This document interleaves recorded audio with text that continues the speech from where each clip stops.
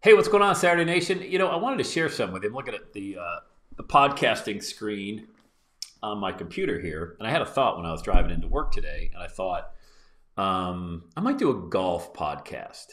And I've never done any other podcast other than the Everyday Saturday show that I've been doing, you know, since 2005, pretty much.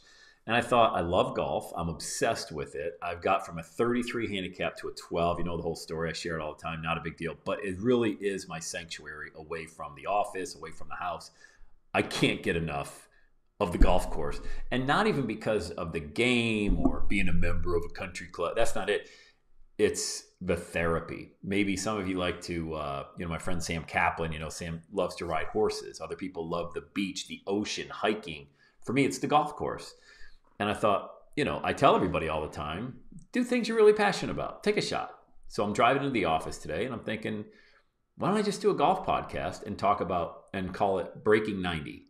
And for those of you that aren't familiar with golf, you know, if you shoot a 90, you're 18 over par, but breaking 90 feels different for the the average weekend golfer. You know, you shoot 93, 95, 100, man, you shoot 88, 85, it's like, wow, yeah, you feel so much better. I mean, let's call it breaking 90 because most hackers on the weekends love to just break 90 for golf.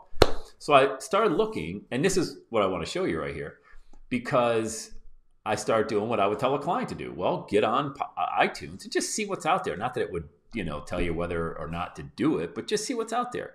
So over here, if you can see in the search, I typed I typed in golf instruction, and up came these podcasts. And as usual, You've got one. Let, us take a look. That's pretty relevant. It, they do a regular show. They did. They've done two this month. Keep in mind today's the 13th of December, and they've only done two. In November, they only did four. Maybe they got a weekly show. Yeah, about an hour long. Okay. I don't even know who this is. Uh, Claude Harmon, probably some relation to Butch Harmon, the famous instructor. I don't know. It doesn't matter. Uh, number two podcast hasn't been updated since 2018, and there's only a few of them. That was over that was close to four years ago, but over three years ago, three and a half years ago. Okay, well, that certainly isn't relevant. So now my mind's turning. Geez, what if I did one? Um, you know, golficity. I'm just, I'm clicking around. May of 2020 was the last time this one. Guys, these are in the top five, okay? For a really big keyword over here called golf instruction.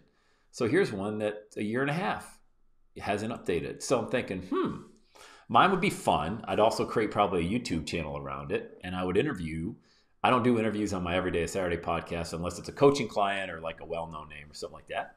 And I thought, you know, I'll do interviews and we'll talk about breaking 90. Like, what did it feel for you and how did you do it? Mine's all about mindset. You know, my method is all mindset driven in golf. Uh, but I think that'd be kind of a cool show for people.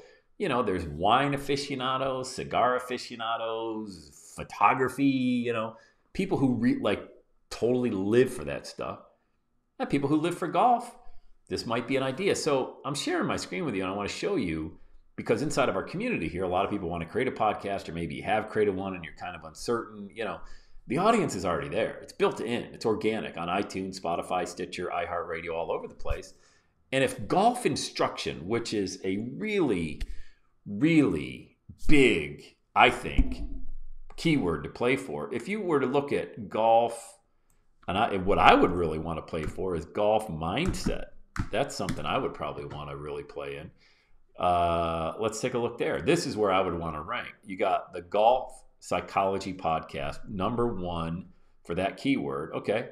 They did one in December, one in November, two in October. Nothing, no competition whatsoever. And that's golf psychology number one.